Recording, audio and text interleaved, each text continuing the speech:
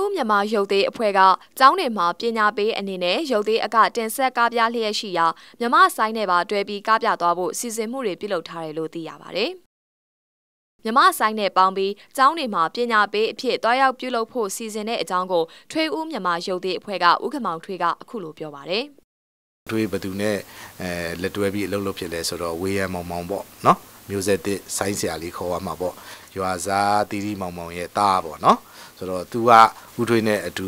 အာဆီယံရုပ်သေးဖလှယ်ပွဲတွေအတူတူသွားပြကြတယ်ပေါ့ဆိုတော့ तू ကတော့ဒီဆိုင်းနဲ့ဂီတနဲ့ပေါ့နော်အဲ့တော့ तू ဦးထွေးလုံနေတာလေးတွေကိုလည်း तू မြင်ရသိရတဲ့အခါကျတော့ तू လည်းပဲအဲ့လိုမျိုးဂီတကို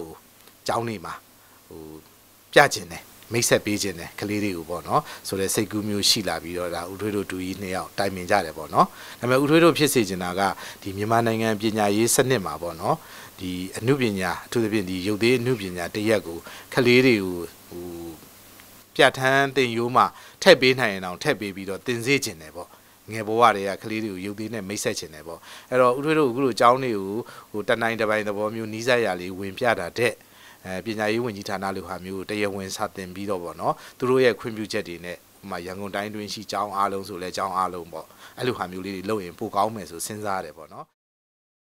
မြမရုပ်သိမ်းနဲ့ပတ်သက်ပြီးပရာဟီတာခေဟာတွေဖုံးတော်ကြီးတင်စာတင်ကျောင်းတွေမေဒီလာရှင်စာတင်ကျောင်းတွေပုဂ္ဂလိကကျောင်းတွေမှာပညာပေးဖျော်ဖြေရေးတွေပြုလုပ်နေတာဖြစ်ကအစိုးရကျောင်းတွေမှာလည်းပြုလုပ်နိုင်ဖို့ပညာရေးဝန်ကြီးဌာနကိုတင်ပြထားတယ်လို့သိရပါတယ်။ ရုပ်သေးတွေကိုကျောင်းတွေမှာတွားရောက်ဖျော်ဖြေဖို့ပြင်ဆင်ပြုလုပ်မဲ့အရာတွေနဲ့ပတ်သက်ပြီးထွေဦးမြန်မာရုပ်သေးအဖွဲ့ကဥက္ကမောင်ထွေးကအခုလိုပြောပါတယ်။ဦးထွေးတို့ကဟို pilot project တစ်မျိုးလေးပေါ့နော်တနေရာမှာဦးထွေးတို့အဲ့လိုဆိုင်ရောရုပ်သေးရောကလေးတွေကိုပညာပေးတဲ့အနေနဲ့အဲပြောဆိုပြသတဲ့ဟာလေးကိုဦးထွေးတို့ကဓာတ်ပုံဗီဒီယိုစသဖြင့်ရိုက်မယ်ပြီးရင်အဲ့ဒါကိုတေးချာချာပြုစုပြီးတော့ပညာရေးဝန်ကြီးဌာနကိုတင်မယ်ပေါ့နော်သူတို့လက်ခံနေပြုတယ်ဆိုလို့ရှိရင်ဦးထွေးတို့ဒါ ထူးသဖြင့်နီးစပ်ဆုံးတော့လောလောဆယ်ရန်ကုန်တိုင်းပေါ့နောက်မှဒါမြန်မာတပြည်လုံး ချက်တင်ချက်မယ်ပေါ့နော်အဲ့လိုသွားပြမယ်လို့စိတ်ကူးတယ်သွားတဲ့လာတဲ့ဟိုခရီးစိတ်တွေရှိမယ်ပညာရှင်တွေခေါ်သွားလို့သူတို့နေတွက်စိတ်တွေပေးရမယ်ဆိုတာကတော့ဥထွေးရုပ်သေးတစ်ခုတည်းကိုတနိုင်တစ်ပိုင်လောက်တာကတော့ဒါဥထွေးပဲအကုန်ခံပြီးစိုက်မယ်လို့ဥထွေးကစိတ်ကူးထားတယ်ပေါ့နော်ဒါကနိုင်ငံတော်ကထောက်ပံ့ပေးနိုင်ရင်တော့ပိုကောင်းတယ်ပေါ့နော်နိုင်ငံတော်ကထောက်ပံ့မပေးလဲအဲ့လိုမျိုးတကယ်တမ်းသာဥထွေးလုတ်ခွင့်ရှိရင်တော့ဒါဥထွေးတို့အဲ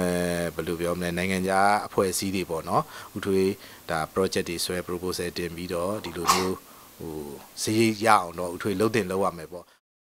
လက်ရှိရုပ်သေးကားပြတဲ့အကြောင်းတွေမှာကလေးများကရုပ်သေးကိုစိတ်ဝင်တစားကြည့်ရှုကြပြီးရုပ်သေးရုပ်တွေကိုလည်းသဘောကျတာကိုတွေ့ရကရုပ်သေးပညာဟာမြန်မာတို့ရဲ့ဘိုးဘွားအမွေနှစ်ဖြစ်တာကြောင့်ချက်မြတ်နိုးတင်တယ်ဆိုတဲ့အကြောင်းတွေလည်းပြောပြခဲ့တယ်လို့သိရပါတယ်။အဲလိုပြသခဲ့တဲ့အကျိုးတွေကြောင့်ចောင်းသားတွေတဲကလည်းရုပ်သေးပညာတွေကိုသင်ယူခြင်းတဲ့သူတွေပေါ်လာပြီးလက်ရှိမှာတော့ចောင်းသူတူရုပ်သေးပညာကိုလာရောက်သင်ယူနေတယ်လို့ဥက္ကမောင်ထွေးကပြောပါတယ်။